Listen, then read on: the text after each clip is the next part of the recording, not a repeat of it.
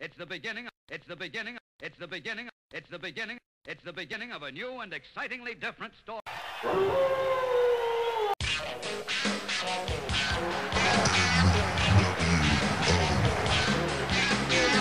87 giving his thoughts and views on all sorts of news. And today I'm going to be talking to you on a really interesting football matter. Um, to everyone that hasn't heard yet, Wayne Rooney is fucking gone. So to all of you Man United fans out there, all I have to say is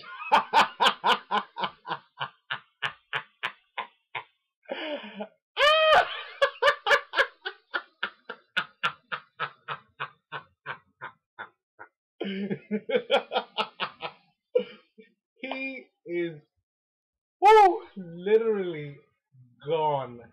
I mean, Wayne Rooney.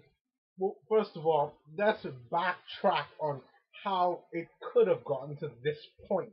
You know, right now it is 7:30 in the afternoon on the 18th of October, and Wayne Rooney before the World Cup, you know, he was in really good form. Um, ended last season with like 25 goals. You would think the way how the media market him, the way how the whole of the the whole of the Premier League look at Wayne Rooney being being one of the best footballers out there. And when he was in form, I would definitely have to say he was one of the best. Um, you know, one of the best center forwards. You know, definitely um for a very long time in Man United's history. But um, the World Cup, you know, he didn't perform well, and you know everybody came up with all the excuses. You know, oh he's just tired. You know, and that's probably what it was. You know, he was he had a long, hard season uh, last year, and um, you know he performed well in that season. But to go to the World Cup, and I mean he bombed. Like he, he was absolutely shit. And to any football fan to tell me fucking otherwise is is talking out their fucking ass. Are you serious? Wayne Rooney was absolutely abysmal in the World Cup. As great of a player as he is, he did not perform. And for the type of player that everyone says that he is, and supposedly what 50 million pounds that didn't perform at the World Cup, was absolutely ridiculous. Now, forget the World Cup. We start off this season. Typically, a Wayne Rooney beginning the season, he would have been heading the ball into the goal. He would have been shooting from long. He'd have been very creative. I mean, but then look at this season. It's slow, sluggish. I mean, they England just recently faced um, Montenegro, and you know, you know the way how England play. Just typical England, you know. Um, this was it was the World Cup all over again, and um, well, I wouldn't say the World Cup all over again, but it's more like the England were just being England. England. Um, they have the players in order to dominate somebody like Montenegro 4 0. Um, but like previous problems, it's always been they just have no team.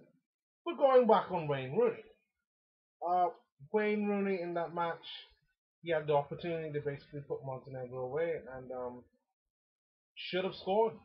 Why? Because he's Wayne Rooney. Why? Because he's worth 50 million pounds. Why? Because supposedly he's the best player in England.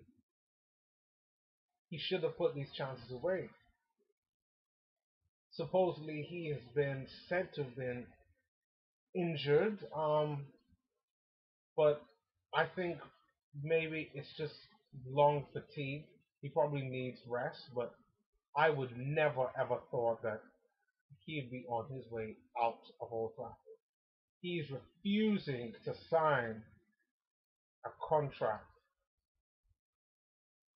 to extend his time in Man United. I mean, and you know, everyone's come up with the likelihood of who, where he could go. We've heard Chelsea, we've heard Real Madrid, we've heard Man City, and who else? Oh, and Barcelona. But you know what? On this Monday, I could tell you that it won't be happening because Madrid don't want Rooney at the Bernabeu. So he's not going to Spain, people. Let's get rid of that notion altogether. Two, City, there's, you know, to be honest, that would probably be the more likely one. You know, they have the money to buy him.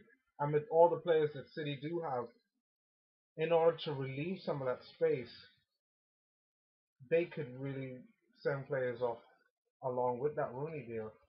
I think probably the player to go would probably um, be Adebayor.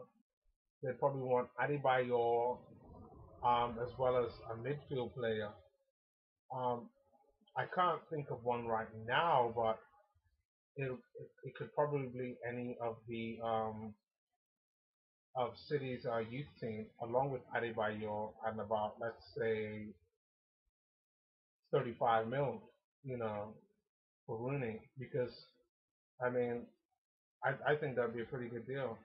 Um, Chelsea, I personally don't think he'll go to Chelsea, mainly because Chelsea has come to an agreement where they don't want to be spending that sort of money on a striker. But on the other hand, Drogba is about 32, 33 years old, and um, he's going to be retiring pretty soon. You know, he's probably got another season or two left in him. He cannot be playing every single game, but they need a Rooney on top form right now. This watered down version to Rooney is not going to do.